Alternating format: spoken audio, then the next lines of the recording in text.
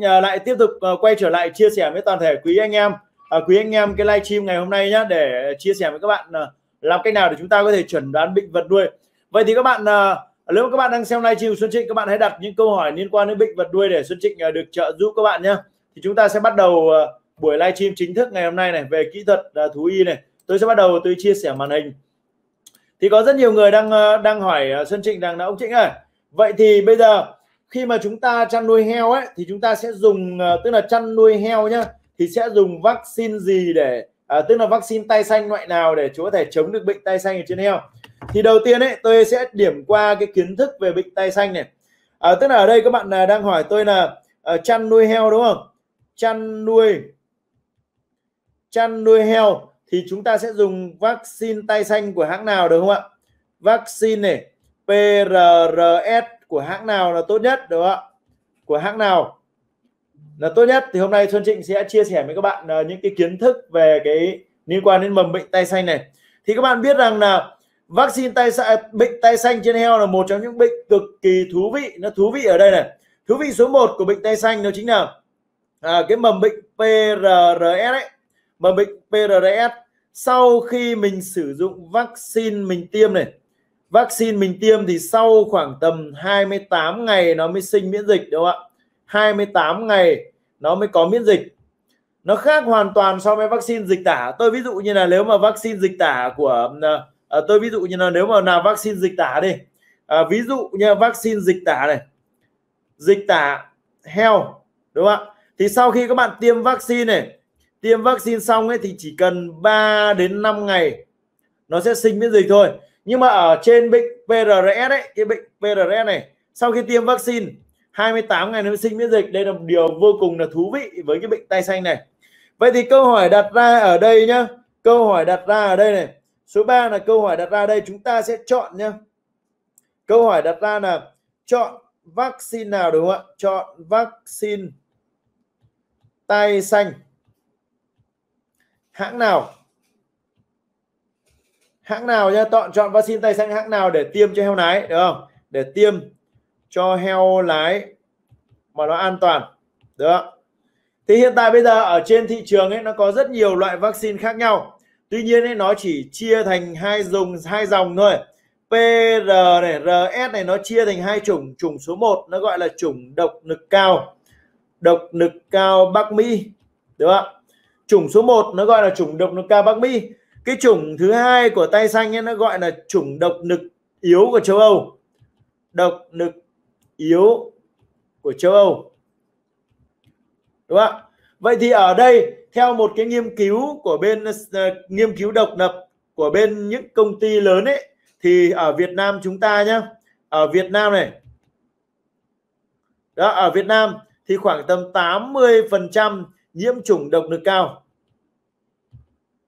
và khoảng tầm 20% nhiễm độc nước yếu. À, độc nước yếu. Vậy thì câu hỏi ở đây nó đặt ra rằng nào? Vậy thì tại sao lại có hai chủng độc lực cao Bắc Mỹ và độc lực yếu châu Âu? Vậy thì cái chủng vaccine độc lực cao Trung Quốc ấy độc lực cao à, Trung Quốc đó vaccine độc lực cao Trung Quốc nó thuộc chủng nào? Thì xin thưa toàn thể quý vị anh em đang xem livestream của Xuân Trịnh thì chủng độc lực cao Trung Quốc ấy là nó giống nào độc lực cao Trung Quốc nó giống 99,98 phần trăm chủng độc lực cao Bắc Mỹ đâu độc lực cao Bắc Mỹ. Cái chủng độc lực cao Trung Quốc nó giống 99,98 phần trăm độc lực cao Bắc Mỹ. Thế nên ông Trung Quốc ông rất là bựa khi mà chỉ cần khác nhá. Nó chỉ có khác mấy khác mấy cái axit amin thôi. Nó gọi là khác axit amin có mấy rồi mấy loại thôi mà hắn ta nhận rằng là hắn ta trục chủng độc nội cao bang mi.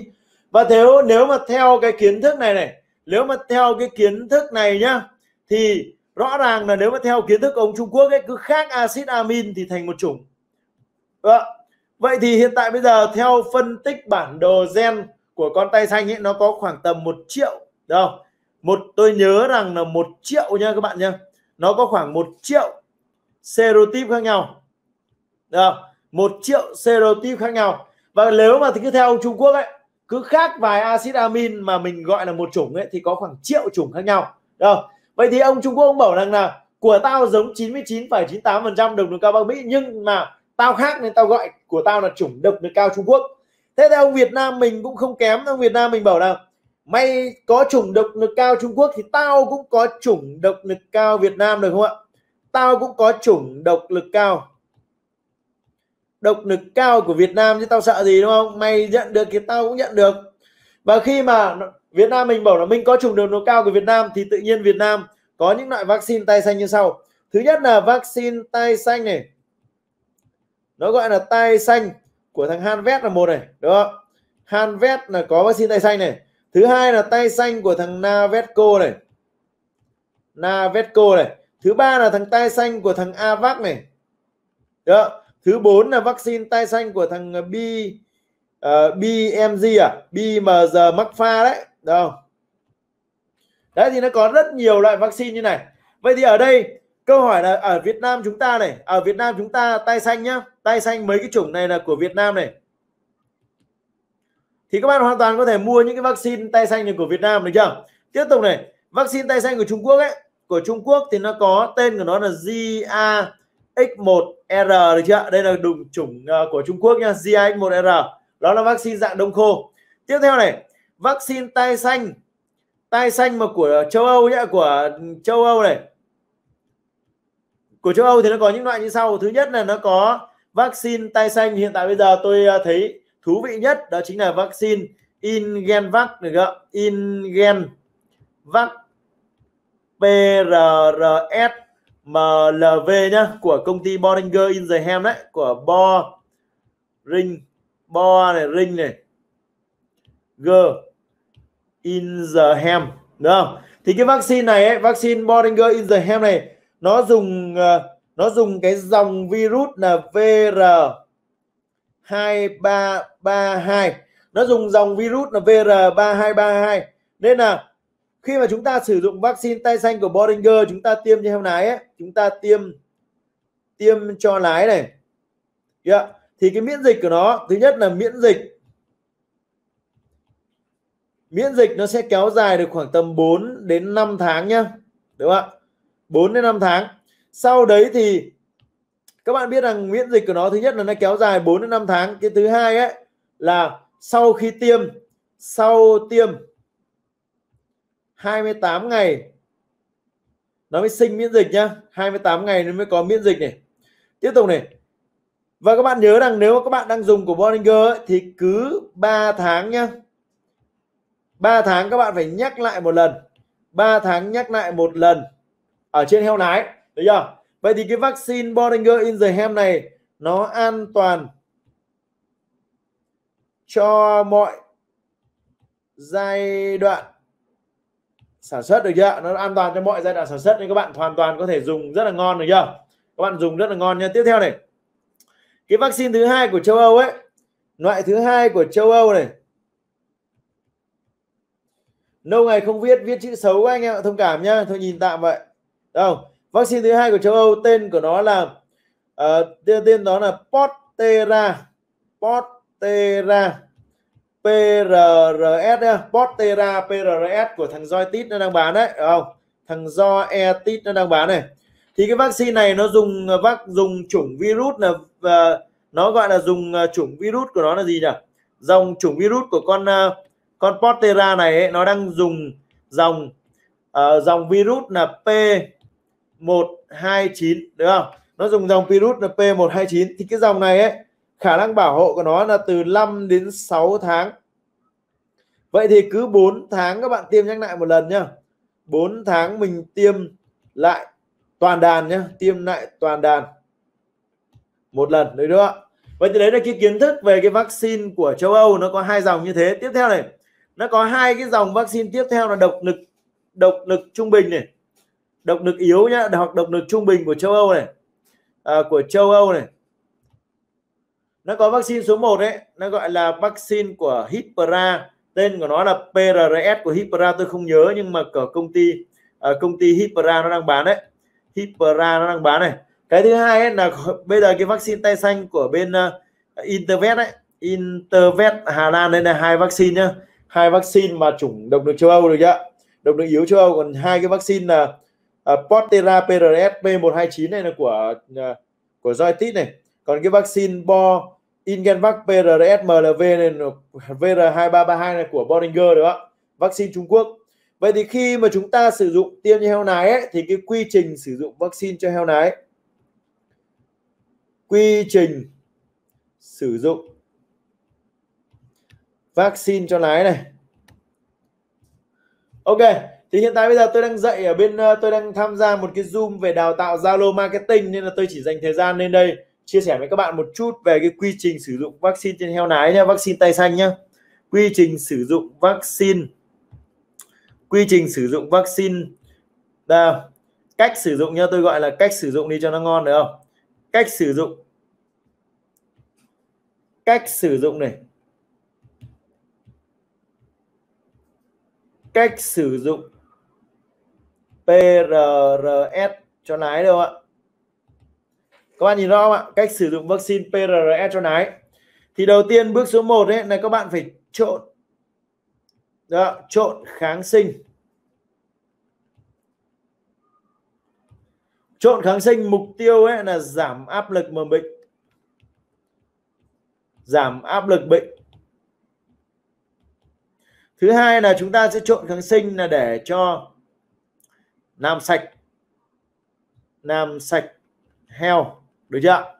Thì khi chúng ta trộn kháng sinh ấy, làm giảm áp lực làm uh, sạch heo để cho con heo nó không bị xì chết nó không bị yếu nhất. Sau đó thì các bạn uh, sẽ sử dụng uh, vaccine. Vaccine các bạn tiêm. Thì khi các bạn sử dụng vaccine tiêm tôi khuyến cáo các bạn mua của Boringer nhá. Bo EH Ringer. Hoặc là các bạn mua của thằng Joytit đây là hai vaccine mà khá là hiệu quả dùng cho heo nái tiếp theo này cái ngày tiêm vaccine tay xanh ấy thì các bạn uh, lên sử dụng uh, cho tôi một cái thuốc gọi là paracetamol nhá được không? paracetamol mục tiêu ấy là làm cho chống xì chết này chống xì chết được không? chống xì chết chống uh, nó bị uh, bị sốt đấy thì tại sao thì tôi lại phải chống xì chết chống sốt? Tại vì các bạn hình dung rằng khi mà trẻ con ấy trẻ con ấy khi mà mình đi tiêm vaccine cho nó ấy, về nhà nó sẽ sốt và nó sẽ khóc nó quấy khóc cả buổi chiều đúng không? Thì sẽ có những cái cơ thể vật nuôi nó mẫn cảm nhá. Có những cơ thể vật nuôi nó mẫn cảm với là à, cái cái virus vaccine tay xanh này. Vậy thì chúng ta phải trộn paracetamol. Đầu tiên chúng ta trộn kháng sinh để làm giảm áp lực mầm bệnh này. Cái thứ hai chúng ta phải trộn paracetamol để làm cho con heo nó không bị sốt đúng không? Khi nó không bị sốt thì nó không xảy thai tại vì khi mà các bạn tiêm định kỳ ấy khi chúng ta tiêm được tiêm vaccine PRRS định kỳ ấy định kỳ 3 tháng một lần này được thì nó sẽ có những loại uh, nó sẽ có những loại uh, ví dụ tôi ví dụ như là nó sẽ có những loại heo. Ví dụ là heo hậu bị này đúng không? Chúng ta tiêm đồng loạt mà chúng ta tiêm định kỳ mà heo hậu bị này. Đó nó sẽ có heo uh, đang phối này. Đó. nó có heo đang chữa này. Heo nuôi con này. Đó thì bốn cái loại heo này ấy, nếu mà chúng ta không sử dụng thuốc để chúng ta ờ, làm cho nó ngon ấy ngon lành cành đào ấy thì tự nhiên có thể nó sẽ gây nên tác dụng phụ nó làm cho con vật nhá nó làm cho con vật nó sốt này. Nó sốt cao khi nó sốt cao thì có thể nó sẽ xảy thai. Vậy nếu mà các bạn muốn tiêm an toàn thì các bạn cần phải làm đúng cái biện pháp mà tôi vừa hướng dẫn cho các bạn nhé Đó, hướng dẫn cho các bạn ấy là đầu tiên chúng ta nếu mà muốn tiêm vaccine tay xanh mà hiệu quả thì đầu tiên chúng ta phải trộn kháng sinh này. Đó. thứ hai là chúng ta cái ngày tiêm vaccine ấy chúng ta phải cho paracetamol vào để nó chống xì chết sau đấy các bạn uh, sẽ tiêm vaccine. Vậy thì ở đây câu hỏi ở đây là chúng ta sẽ trộn kháng sinh gì để chống kế phát nhá? Trộn kháng sinh gì này? Câu hỏi này. Câu hỏi có rất nhiều người hỏi tôi là trộn kháng sinh gì đúng không? Trộn kháng sinh gì?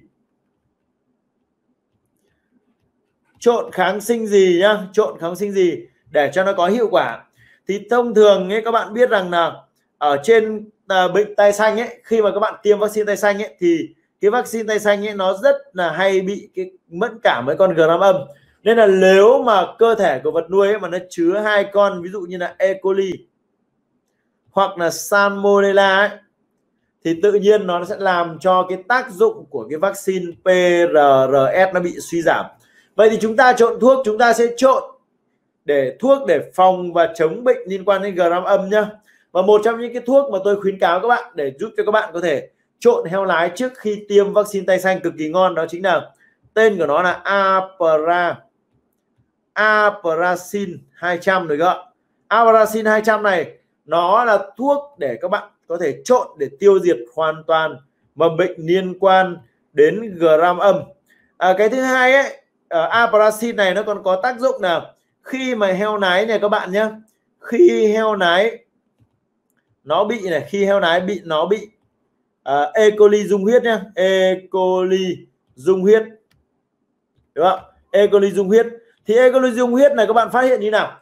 các bạn nhìn thấy ở dọc cái gáy của con lợn nha dọc cái là gáy của con lợn nó có những cái mạt sắt đen đen đấy cái tức là cái sống lưng của nó nó có hiện tượng là nó cứ đen đen không ngày mùa hè ấy, mình uh, tiêm thuốc à, mình uh, tắm cho con heo có thể là máu nó chảy qua máu nó chảy qua cái đường cái cái lỗ chân lông ấy, nó gọi là xuất huyết lỗ chân lông đấy thì cái trường hợp đấy nó gọi là E. coli dung huyết thì cái sản phẩm Aparacin 200 này là một trong những sản phẩm cực mạnh để điều trị con gram âm này. Các bạn mua cái Aparacin này Aparacin nhá Aparacin 200 này. Cái thuốc này nó đặc trị gram âm không? gram âm ví dụ như E. coli Salmonella và đây là một trong những cái thuốc chống tiêu chảy heo con là khá ngon. Thì các bạn tìm hiểu để các bạn mua nhá. Chưa? À, bây giờ tiếp theo một câu hỏi khác của bạn uh, Việt Thương này. Một câu hỏi khác của bạn Việt Thương này. Bạn Việt Thương bạn hỏi rằng nào? À, bạn Việt Thương bạn hỏi tôi rằng nào? Cho em hỏi là lợn sốt bỏ ăn khoảng 70 kg em đã tiêm xếp cộng dividon cộng catosan nhưng ngừng thuốc nợ lại bỏ ăn. Xin hỏi nguyên nhân và khắc phục. Nếu một con heo 70 kg 70 kg mà nó có hiện tượng là bỏ ăn đúng không ạ? Bỏ ăn. Không rõ nguyên nhân mà chúng ta đã tiêm đến cái bộ ba là xếp mắc này. À, chúng ta tiêm bộ ba là xếp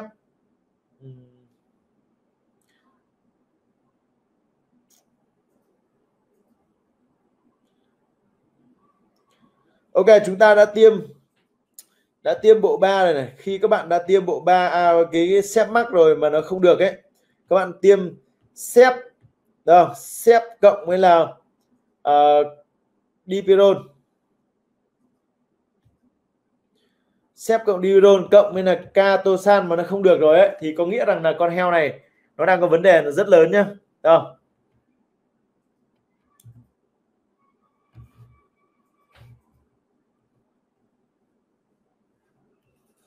Con heo này đang có vấn đề. Vậy thì các bạn à, cần phải biết rằng nào, khi mà mình tìm thuốc ấy, thì nó ăn mà bỏ thuốc thì nó không ăn, thì cái này nó liên quan trực tiếp đến cái việc là con heo này có khả năng nó bị nhiễm virus. Thì có hai cách để các bạn xử lý.